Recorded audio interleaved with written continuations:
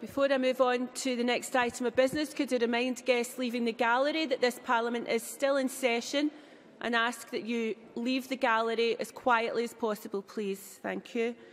The next item of business today is the Members' Business Debate on motion number 15486 in the name of Graham Pearson on support for families affected by murder and culpable homicide. This debate will be concluded without any questions being put, and I'd be grateful if members who would like to contribute to the debate could please press the request to speak buttons now. I call on Graham Pearson to open the debate. Seven minutes or so, Mr Pearson. Uh, thank you very much, Presiding Officer. Uh, I'm grateful to the Parliament for giving me the opportunity to propose a motion uh, in support for families affected by murder and culpable homicide. I start by thanking my colleagues from all parties here in the Parliament who signed in support of the motion.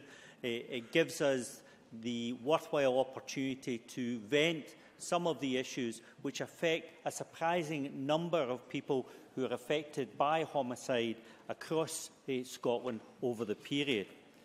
Eh, I checked the statistics this morning before coming to the Chamber. In the last 10 years, 887 separate victims were affected by murder and homicide across Scotland from 2005 to the current date.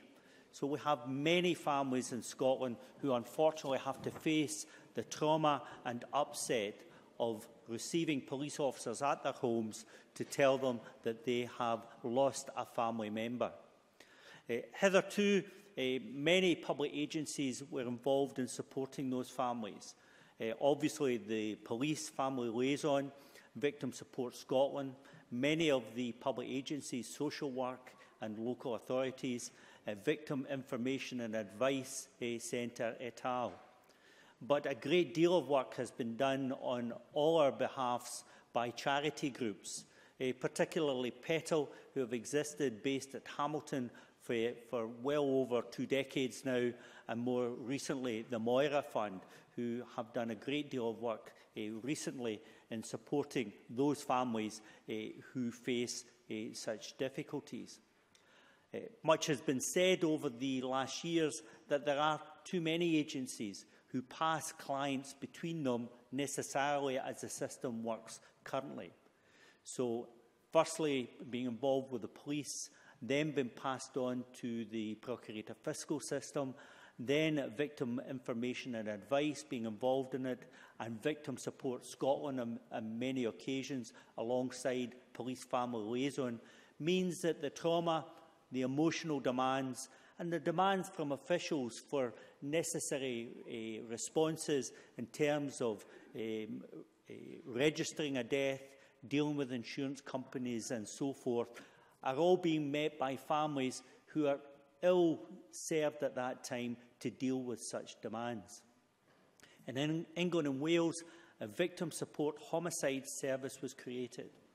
Uh, I have to admit that even having had more than three decades of experience in, in this kind of, of work, it had passed me by that for some families who are affected by homicide and who are in dire e-, economic circumstances, How do they deal with funeral expenses in, in the heart of the trauma that they face?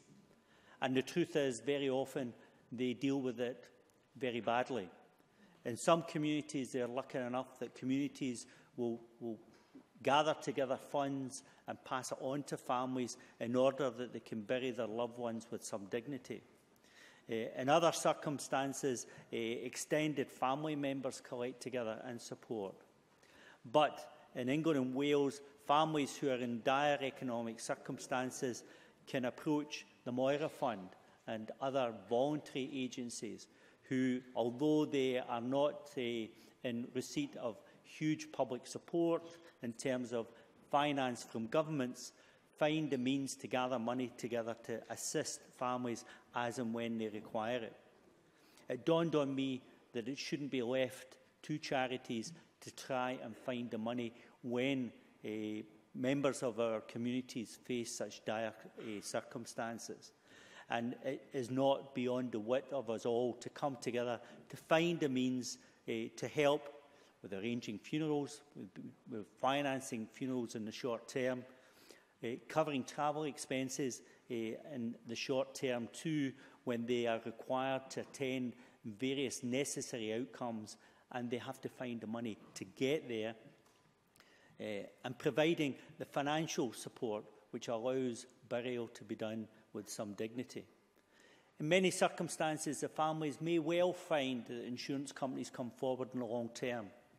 In some circumstances, after some months, they might even be able to save the money themselves in order to, to pay many of these expenses that we're talking about.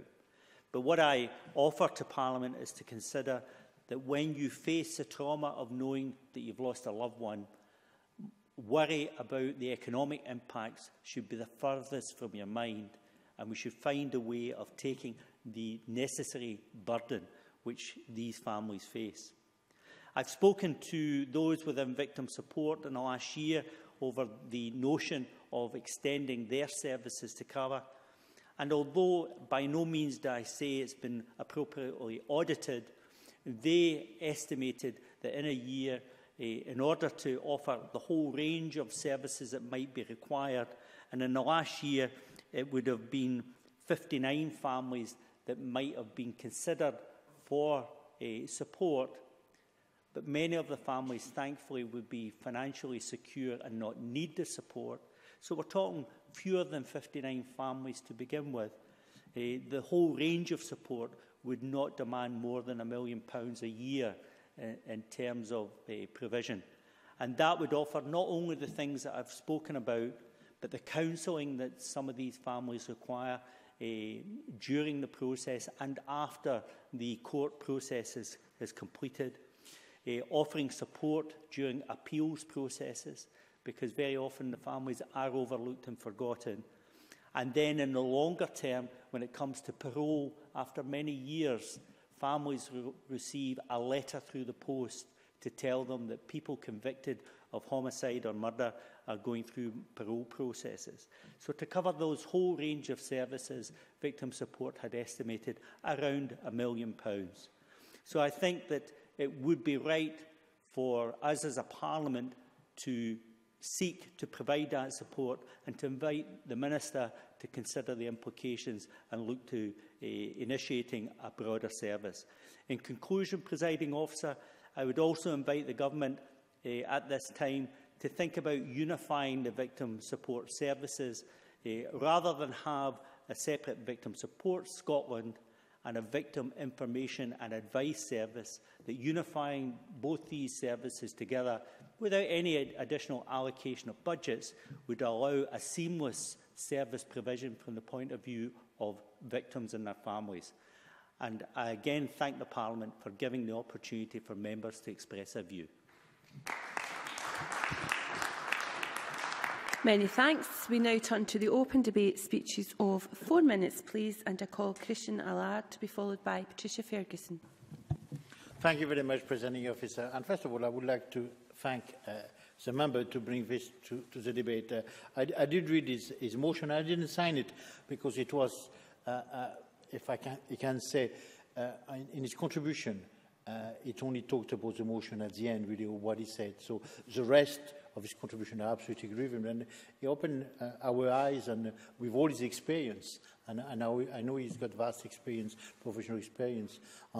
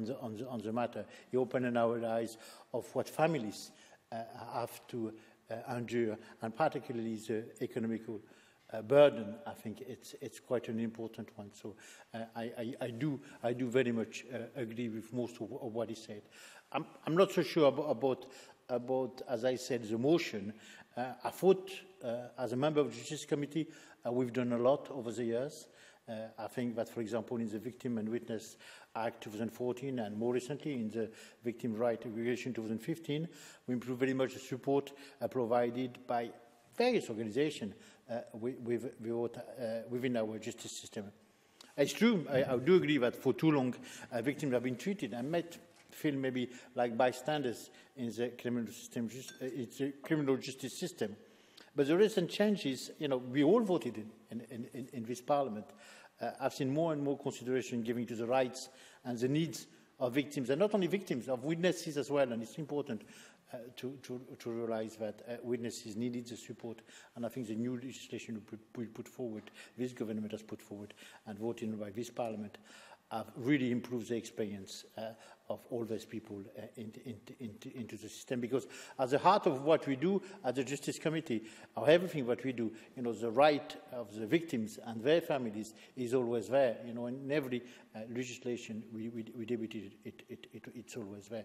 Uh, uh, the Minister is here, and I'm sure he will talk about it, but the recent launch of the Victims Code for Scotland has, has been great news, and, and it's been applauded by the Victim Support uh, Scotland, uh, I think it's very uh, a move in the right direction. Uh, I know that uh, Victim Support Support is delighted about the support for services to young uh, victims and witnesses of crimes. Uh, the Victim Code for Scotland set out the right of victims of crimes and who to contact to help and advise. Uh, this right have been put in place, like I said, through the Victim and Witness Act 2014 and the Victims' Right 2015.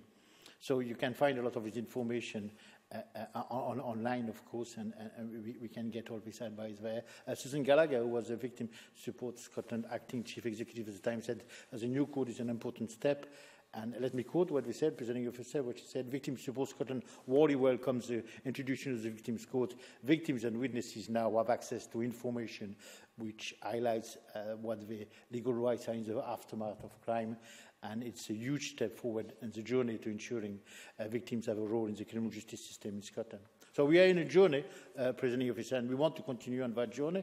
Uh, there is a, a, a, a, lot, I agree with Victim Scotland, and uh, particularly when we added, and that's an important point, there is still a long way to go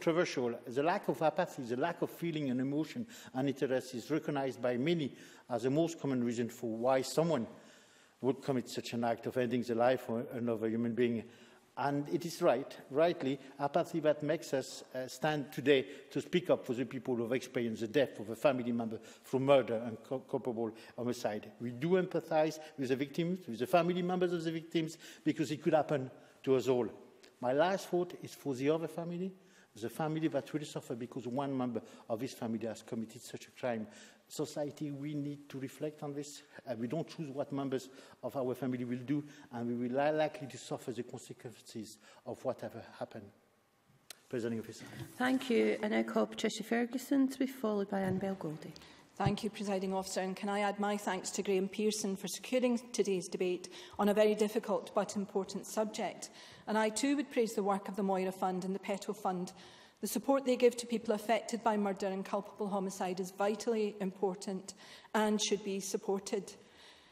Today I wanted to highlight just two of the several cases I've been involved in to explain why the support from these two organisations is so important and why in Scotland we need a dedicated victim support homicide service that provides comprehensive support not just in the immediate aftermath of the particular crime but throughout the time the victim's family are engaged with the justice system. And here is why. In 2008, my constituent Giselle Ross waved goodbye to her two sons, six year old Paul and two year old Jay, as her former husband Ashok Kalyanji took the boys to visit their grandmother. Ashok later took the boys to the Campsie Fells to a spot he knew their mother loved, and there he put them in his car and stabbed them repeatedly. One of the boys witnessed what happened to his brother before being himself the subject of an attack. Kalyanji then telephoned Giselle and taunted her about the boys before setting fire to his car with himself and the two boys inside. He was found alive by police, but his sons were dead. Now, Kalyanji was examined by three psychiatrists and found to be sane and fit to plead. He eventually pled guilty. In delivering his verdict, Lord Brailsford apologised in court to the Ross family and for the protracted process and the requirement to obtain so many reports before a verdict could be arrived at. It had taken some eight months to get to the point of conviction. But of course, that wasn't the end of the matter, as though there ever could be an, an end for Giselle Ross. But Kalyanji then had his lawyers ask for a review of his conviction upon the grounds of his mental state at the time of the incident. That application was refused in early 2012, but later that, e that year, a further application for review was submitted and this time was granted. After a number of harrowing court hearings, Kalyanji's bid to have his conviction quashed was rejected in May 2014. So this case didn't end with the conviction of Ashok Kalyanji. It continued for another five years while he used the justice system to argue his case, as he was entitled to do. But one could be forgiven for thinking that he simply wanted to continue his vindictive campaign against his former wife, Giselle. But the question which arises is this what support was available to Giselle during all of that time? The answer is very little, and she is not alone. I also want to consider another but very different case where it seems to me that the system could have done more to support a family. My constituent Charles Howe took his wife and young son out for a drive one evening. Out of the blue, another driver swerved across the road and crashed head on into Mr. Howe's car. Mr. Howe suffered facial injuries and a shattered knee, while his nine year old son had a broken arm and facial cuts. Mrs. Howe, who was nine months pregnant, died of her injuries, as did her unborn son. The driver of the other vehicle suffered some injuries but ran away from the scene and evaded arrest for some six months. Because of the illness of a witness, Goldie pled, who was the driver of the other car, pled guilty to failing to report an accident, driving without insurance while disqualified, and was admonished on a charge of dangerous driving. And I don't intend, presiding officer, to rail against those sentences or those charges here today, although there is much to rail about. But I do want to highlight an aspect of this case that has added to Mr Howe's concerns in the 20 years since the death of his wife and son. And that is this, that his son, who was to be named Dylan, was recorded as having been stillborn, in spite of the fact that he died at nine months gestation, possibly and probably hours away from his natural birth, because of the incident his family was involved in. This is something that I think it's fair to say has tortured Mr Howe in the 20 years since, that his son did not have the recognition in law that he feels he should have had, that his birth and, most importantly, his death are summed up in the term stillborn. And I wonder if that might be a matter the Minister could consider. In conclusion, presiding officer, surely we owe people like Giselle Ross and Charles Howe more support than they currently get and if there are systems in other places that work better than ours, we should surely be brave enough to acknowledge it and follow their example. Thank you. I now call Annabel Goldie to be followed by Roger Campbell. Uh, thank you, Deputy Presiding Officer. I too am very pleased to participate in today's members' debate, and I also want to thank Graham Pearson for securing parliamentary time for such an important and such a very worthwhile topic. Crime affects many thousands of families across Scotland each year, from antisocial behaviour and housebreaking to the unimaginable horrors of child abuse. But with the loss of a loved one by another's hand, crime exacts a very tragic toll. And in 2014-15, 59 homicides were recorded, and that means 59 families suffered the trauma of bereavement with the added complexity and emotional difficulty of dealing with the criminal justice system often for the first time. And the work of organisations such as Victim Support Scotland is both immeasurable and invaluable in this regard. They offer emotional support, impartially helping families to understand and cope with a whole range of emotions at a fraught and particularly overwhelming time. And this is compounded by a common but devastating trend in homicides that most victims are killed by someone they know. The most recent figures show that last year 49% of male victims were killed by an acquaintance, while 43% of female victims were killed by their partner. For bereaved families, such a betrayal is almost impossible to understand, and it is vital that they are supported in their uh, grief. And I think we all agree Patricia Ferguson spoke very, very movingly of a situation where families uh, find themselves in that awful position. And charities such as the Moira Fund and Victim Support are to be commended for the help which they provide. And people experiencing trauma and loss, PETAL, to which Graham Pearson referred, also carry out excellent work, harnessing the services of volunteers, uh, sessional counsellors, holistic therapists and psychotherapeutic therapists to provide free support, advice and counselling to those that need it the most. But without doubt, Families affected by homicide also need practical support, they need guidance, and they need navigation through the system. Because from the moment a, a, homicide has been reported to the point of conviction and beyond, as Patricia Ferguson strikingly illustrated, they will come into contact with any number of official agencies Police Scotland, Crown Office and Procurator, Fiscal Service, Scottish Courts, um, Scottish Prison Service, um, the Parole Board for Scotland, and the Criminal Injuries Compensation Authority. They will also have to identify the body of the deceased, liaise with the Procurator Fiscal about the timing of the funeral arrangements, which may be delayed significantly if a suspect is not arrested expeditiously, and potentially coordinate with police about the victim's personal possessions because they may be used as forensic evidence. Families may also be exposed to the media, The media may follow the circumstances of the death, they may follow any subsequent court case. Media attention can mean intrusive and often unwelcome attention as the bereaved try to go about their day to day business. And this can be very distressing, especially as family members may not be aware that anything they say could also be prejudicial to any ensuing court case. And all of this, Deputy Presiding Officer, can be intimidating and overwhelming. Now, the Scottish Government has prepared a very helpful document for bereaved families, um, and I, I think that is to be commended. But it is a lengthy document. I think it's quite challenging to digest. So I do agree with Graham and There is a distinct risk that families uh, are passed from one organisation to another, leading to gaps and inconsistencies and provision. And I would think there is merit in replicating the Victim Supports Homicide Service already operating in England and Wales. It helps families not just navigate the criminal justice system, but also provides much needed emotional support and practical services. When I looked at their website just a moment ago, they, apart from anything else, have links, if I counted correctly, to 70 other specialist organisations. And so can I again thank Graham Pearson for bringing the Parliament's attention to this very important issue. And I would urge the Scottish Government to look carefully at that system in England and Wales I think we should seriously consider if we could adopt that scheme, if it is practicable to do so. Many thanks, I Now call Roger Campbell. Thank you, Presiding Officer. Uh, I would uh, also like to congratulate Graham Pearson on securing this debate and also add my support and praise for the list of organisations that he's referred to, both in his motion and in his introductory remarks.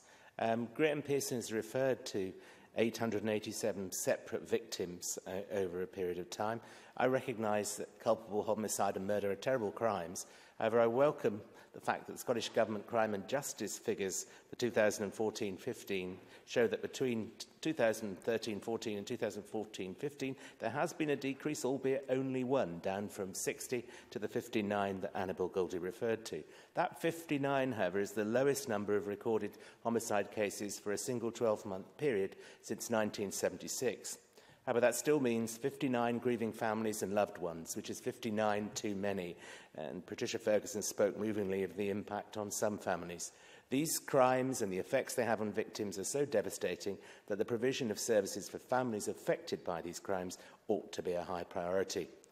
I would like to say that I appreciate fully the point that Graham Pearson has made in his motion with regard to one-to-one -one support for families who are coming to terms with the loss of a loved one in tragic circumstances – For anyone who's not suffered such bereavement, the thought of having to go through the process is unimaginable.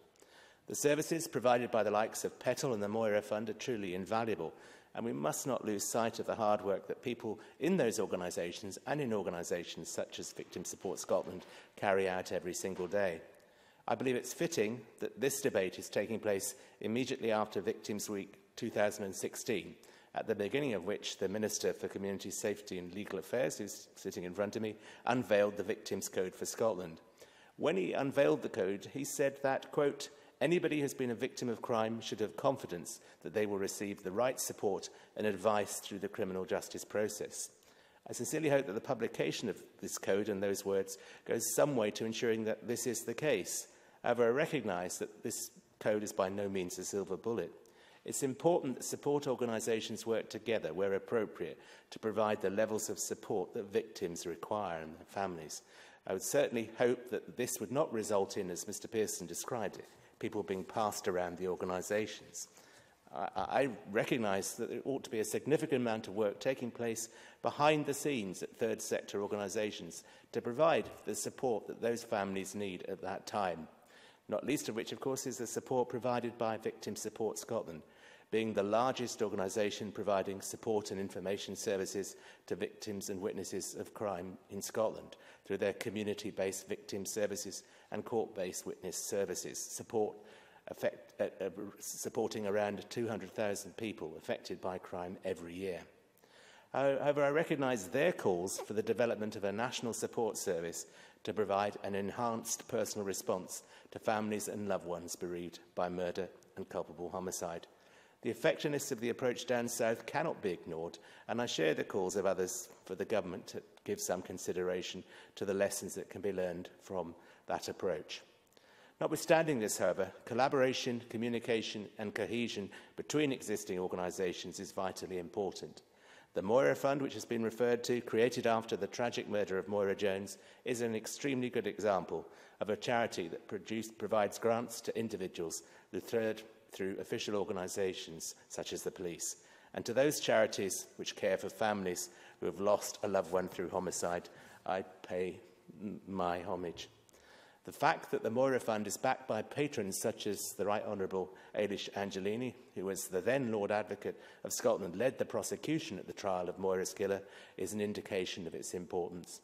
Presiding Officer, once again I thank Graham Pearson for bringing this debate uh, and I uh, hope that the Minister will respond to some of the points that have been made.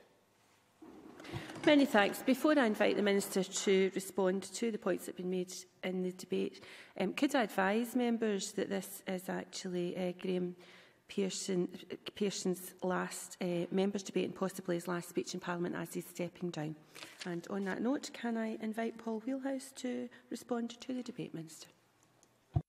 Sir, and uh, I do indeed thank Graham Pearson for raising this important issue in the Chamber. And I was indeed going to for I had, I'd guessed correctly, as it turns out, that this would be Mr Pearson's final speech. And can I say uh, genuinely, uh, with, with sincere, sincerity, that uh, I very much enjoy uh, debates in the past with Mr Pearson. I think he's been a very honourable member of this chamber and indeed has done great credit to his party and, and to uh, the people he served in the south of Scotland in, in, in the passage of time. And indeed, I believe it may well be um, my last opportunity to engage with uh, Ms Goldie as well. So similarly, I think uh, Ms Goldie, whatever our political differences, I, I believe Ms Goldie has been a tremendous asset to the Parliament and is very well respected across the Chamber. So I, I look forward to hearing all sorts of good things about both members as they leave the Chamber. Um, but, Presiding Officer, uh, we recognise the need for for victims of crime to have access to the right uh, information and support and the need to improve the experience of those passing through the criminal justice system. I think we've heard very eloquently from members across the chamber and most especially I think um, Ms Ferguson very uh, emotional cases that, that she has had to deal with uh, in her constituency. But the, um, the need for, for information support and the need to improve the experience and indeed to have that through care throughout the process of the justice system. It's not just at the point of the original prosecution, as I think has been made eloquently by a number of members. As Christian Lard stated, um, we have uh, recently passed legislation, in particular Victims and Witnesses Scotland Act 2014 and the recent Victims' Rights Regulations 2015, uh, in our attempt to improve the support provided by the various organisations within our justice system.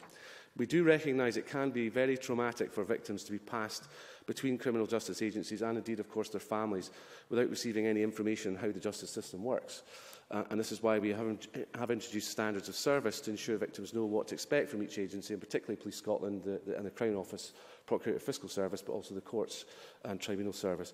We have encouraged criminal justice agencies to work closely with victim support organisations in the creation of these standards and to establish closer working relationships to ensure that the service we provide is as joined up as possible. I hear very clearly from, from members, uh, Mr Pearson and others, that, that we need to have a joined up uh, system and, and to make sure organisations work together and collaborate uh, as Rod Campbell just said.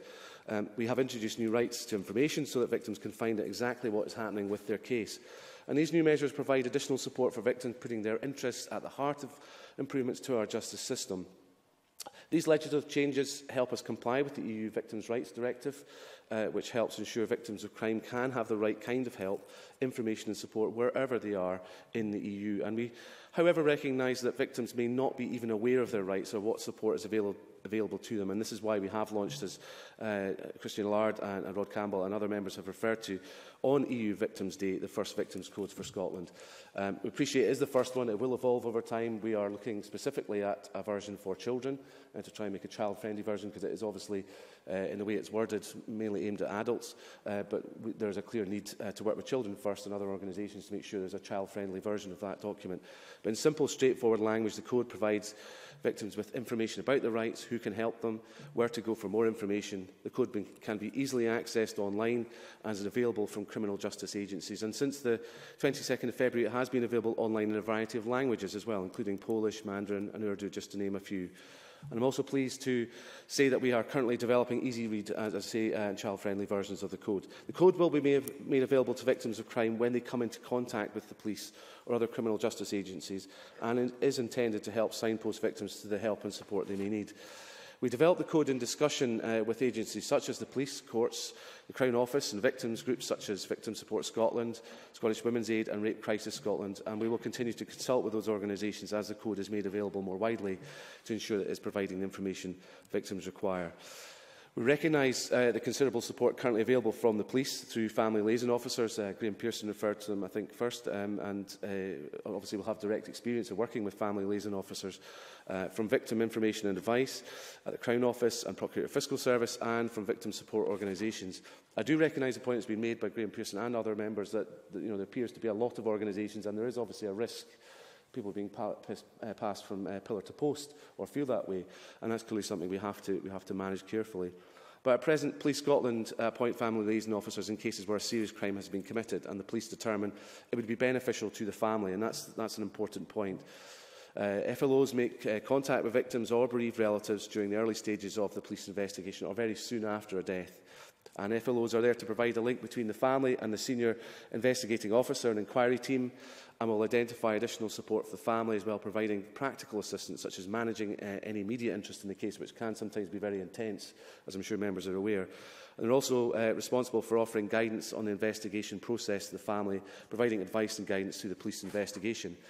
FLOs liaise closely with the Victim Information and, uh, and, Advice Service at the Crown Office and Procurator Fiscal Service from very early in the investigation before handing the liaison role over to VIA if the investigation moves to prosecution. VIA in turn provide victims of crime with information about the criminal justice system itself. They provide assistance in a case where a victim appears to be vulnerable and help victims to get in touch with organisations that can offer the practical help and support that people were referring to uh, uh, earlier on. And we recognise the importance of supporting victims of crime, which is why the Scottish Government provides funding of just over £4 million per year to victim support organisations. In relation to those bereaved by murder specifically, which is why we're, we're here today, we do agree that providing support is vital. And that is why we provide grant funding to, to PETAL, who offer specialist support, counselling services, practical advice relating to the criminal justice system and other matters. The 2014 Act is part of a larger ongoing work to, uh, piece of work to further improve the experience and increase support to victims of crime in the justice system. I do encourage individuals and agencies to continually seek new means of supporting victims of crime and continually be aware of identifying areas where improvements can be made to existing provisions. And this is certainly my view, and I assure you this will continue to be the case beyond implementation of the legislation. Uh, as members have referred to, Victim Support Scotland in their 2015-2019 manifesto have called for the development of a, a national support service uh, to provide an enhanced personal response to families and loved ones bereaved by murder. I certainly hear the sentiment across the chamber that this is something that members, regardless of party, are seeking to, to see happen. I very much welcome uh, Victim Support Scotland's uh, commitment to improving support in this area, but we feel uh, it's vital that we avoid potential duplication of services um, and ensure that resources are focused on helping those in need. Uh, PETL, uh, for example, already provides special support for bereaved families, and more general support is extensively available across Scotland particularly through Victim Support Scotland and other organisations which have been mentioned this afternoon. And it's for this reason we've encouraged uh, Victim Support Scotland and PETL to consider how, might, how, might, how they might work more closely together to support families in these cases. So I do hear the, the, the very good work that's going on in England uh, and, and, and want to acknowledge that, and it certainly has some attraction to it. But what we need to do is design a system that will work within the landscape we have and, and try and avoid duplication. So not a, necessarily a straight copy across. So we are open to further discussion on this topic and recognise we do need uh, to be fully aware of the needs of those who have suffered bereavement uh, by murder or suicide and support them appropriately. Uh, the concerns raised by Graham Pearson today over potential issues such as the example given of victims feeling they have to explain things again and again as they pass from one justice agency to the next are ones I do recognise. These are ones that point to need uh, to better understand the requirements of victims, and we need justice and victim support organisations to work together and to deliver a joined-up service. So, of course, legislation is not the end of the process. Um, it's just the beginning. Um, it's obviously a, a constant process of improvement and it's just uh, something that we will need to do in terms of implementation to continue and, and we'll work in collaboration with our partners in the criminal justice system and the third sector to ensure that provisions are implemented effectively. We'll also continue to work to uh, identify improvements that can be made on a non-legislative basis, and for too long victims have been treated and made to feel like bystanders in the criminal justice system. Uh, our recent changes will see more consideration given to the rights and needs of victims and witnesses of crime, and it's my hope, and I'm one I'm, I'm sure is shared across the Chamber, that the, the recent initiatives will improve the experience of the system, uh, a system which uh, obviously victims turn to in order to see justice served. But I want to again thank uh, Graham Pearson. I, uh, I mean with all sincerity the points I made earlier on. He has been an excellent member of the Chamber uh, and indeed Annabel Goldie.